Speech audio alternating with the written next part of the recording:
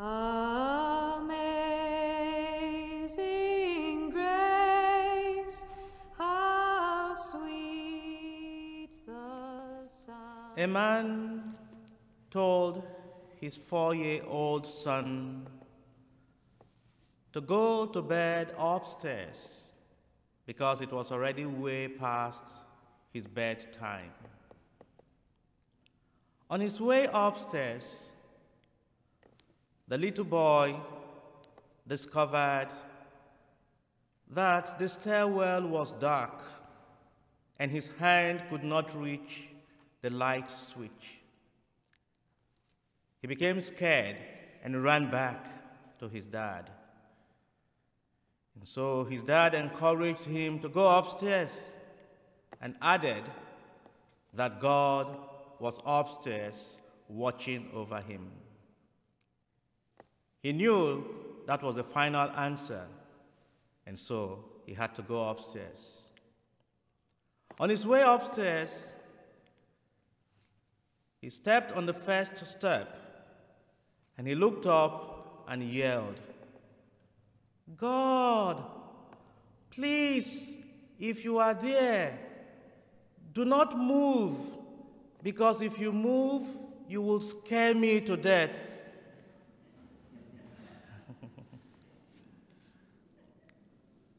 Sometimes the things that God allows to move in us or to move around us may scare us, but they are usually, ultimately, for our own good.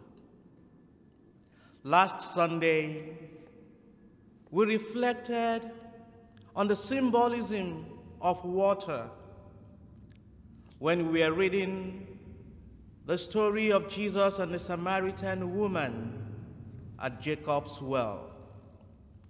Today, our attention is shifting from water to light. And now I have homework for you. At the end of this Mass, I would like you to take your time to go through all the readings of today and note how many times the word light has been mentioned in today's readings.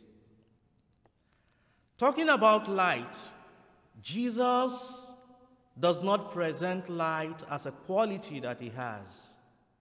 Rather, he presents light as his essence. He does not say, I have the light. Rather, he says, I am the light of the world. So, light is his essence. And in today's gospel passage, also, Jesus, who is light, encounters the man who was born blind. And as a result of this encounter, the light dispels the darkness in the blind man and is able to see. On the first day of creation, there was darkness all over. And God, who is light, spoke, Let there be light. And the light dispelled darkness. And the beauty in creation began to come forth. And what God did on the first day of creation, God continues to do every day, dispelling darkness and revealing the beauty of creation. In today's first reading, God sent Samuel to go to the house of Jesse to anoint one of his sons as king of Israel. When Samuel arrived, Jesse presented seven of his sons. The screening began, one after the other, and the seven of them were disqualified. And Samuel must have thought to himself, maybe I dialed the wrong number. Maybe I got the wrong zip code. Was it not this house I was sent to? But before running into his final conclusion, he said to Jesse, Are these all the sons you've got? And then Jesse said, um, oh, yes. No, I think one more. There's one, but it's the youngest of them all. He's just out there with the sheep. And Samuel said, Go get him. And sure enough, David, the youngest, arrived. And he was the choice, he was the divine choice. And he was anointed king of Israel. Come to think of it, David, who was not qualified to be part of the primary election, David, who was not qualified to be with his older siblings, eventually was anointed king over them all. David was hidden in the dark, but God, who is light, went in search of him and brought him out of darkness and made him king. When Jesse and his older sons sent David to go and be with the sheep, they did not realize that they were sending him to the seminary for formation to the priesthood.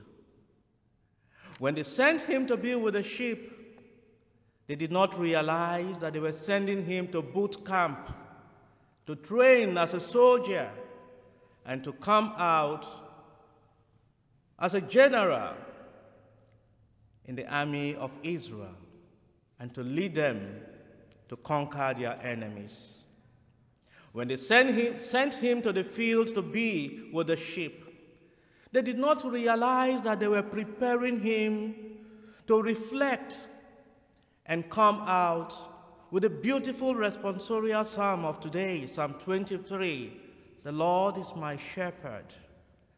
Having been with the sheep, he was able to come out with the beautiful psalm The Lord is my shepherd. They did not realize that when they sent him to be with the sheep, they were sending him to train to become a shepherd over Israel, taking after the footsteps of the good shepherd. My dearly beloved in Christ, this is not just about David. This is not just about the man who was born blind. This is more importantly about you.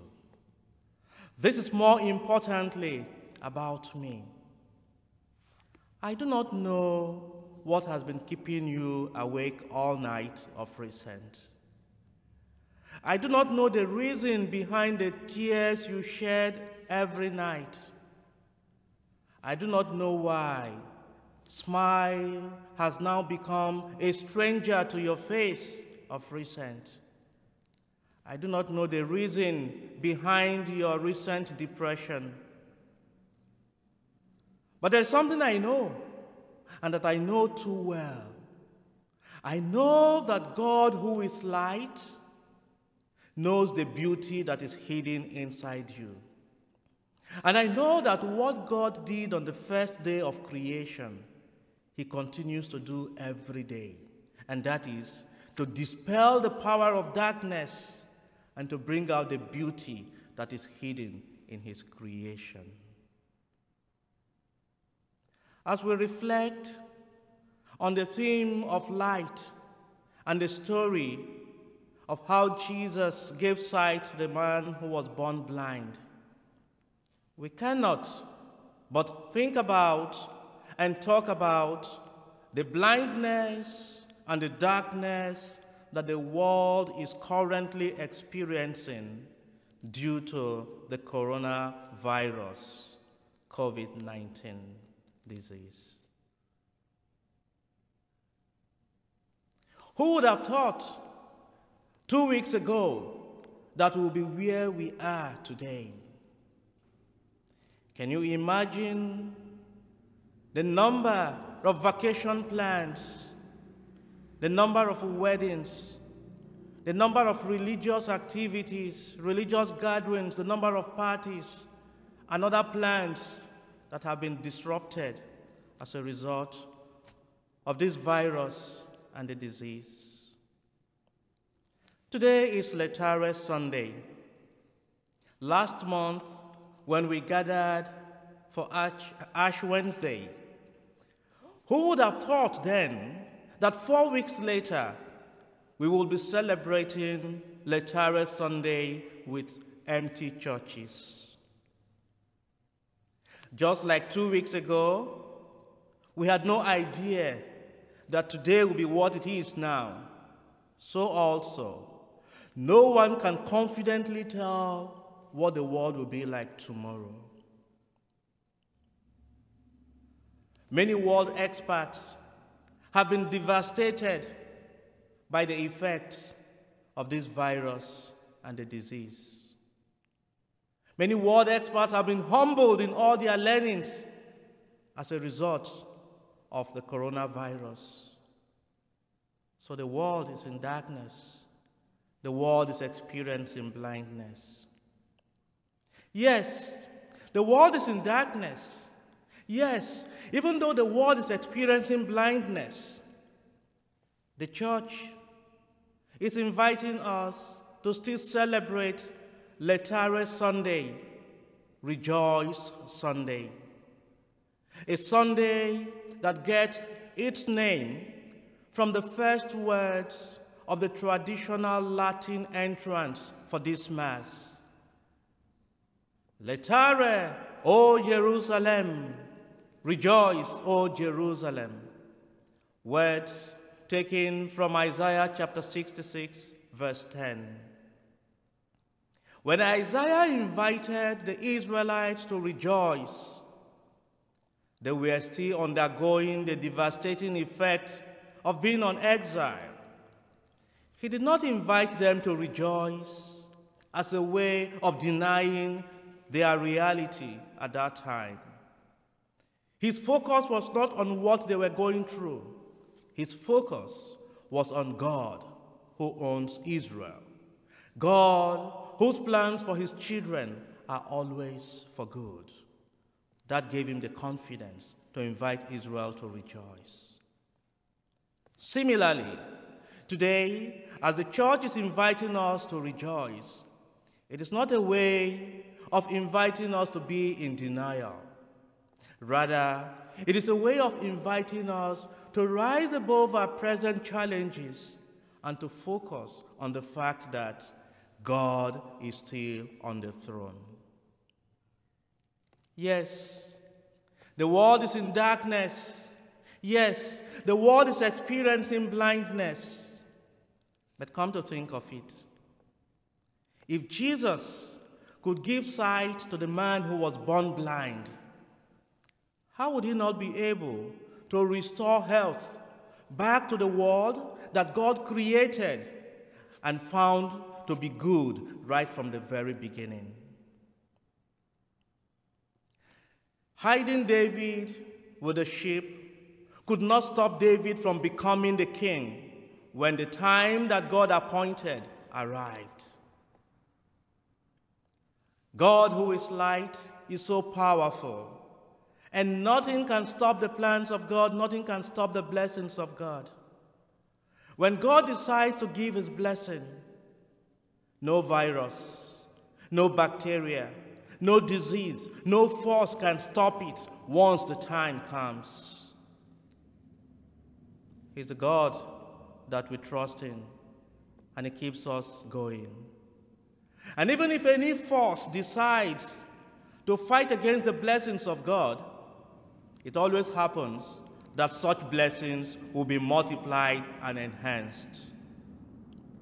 Recently, I came across a write up on Facebook, which I found very encouraging. And uh, I made a copy of it to be sure I don't miss anything out of it. It was presented in the form of an exchange of words between Satan and Jesus. Satan began by bragging I will cause anxiety, I will cause fear and panic among human beings. I will shut down businesses.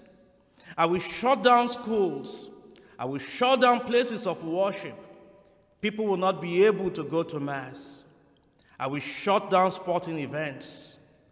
And I will cause economic turmoil. And then Jesus replied, Okay.